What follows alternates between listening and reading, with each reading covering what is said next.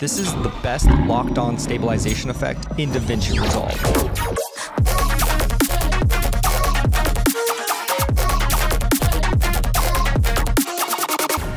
Here I have a few clips that I filmed the other day, and as you can see, a lot of these clips have somewhat of a point of focus in the middle of the clip.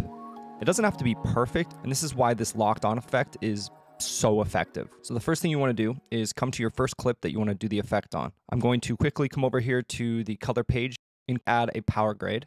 Then I'm going to hop back to the edit page. I'm going to scroll through the clip to the point where I want a speed ramp and hold down command and push R to bring up the retiming.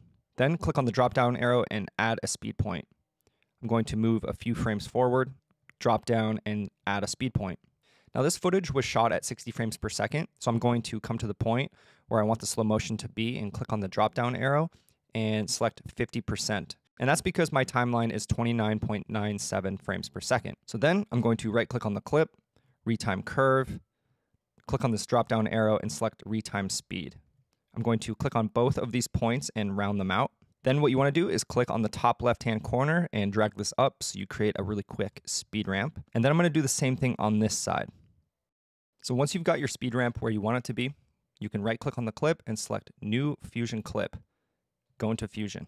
Hold down Shift and press spacebar and type in Planar Tracker. Select the planar tracker. So what I want to do is track this wheel. So I'm going to click around it. It doesn't have to be this big. It can be smaller. It could be any point of interest. Then go ahead and click Set. Then under Motion Type, you want to click on the drop-down arrow and select Translation.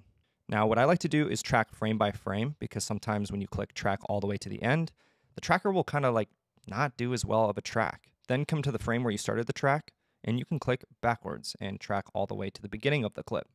Now, it doesn't matter where you start your track. I just typically like to start in the middle. Now, once you're done tracking the entire clip, what you can do is come up here to the operation mode, click on the drop down menu and click steady.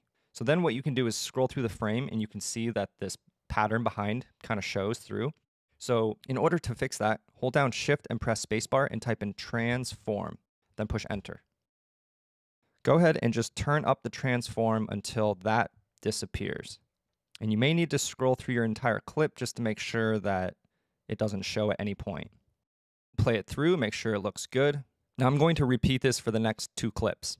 Again, I'm just selecting the point of interest that I want to track making sure that the entire frame is filled with the clip.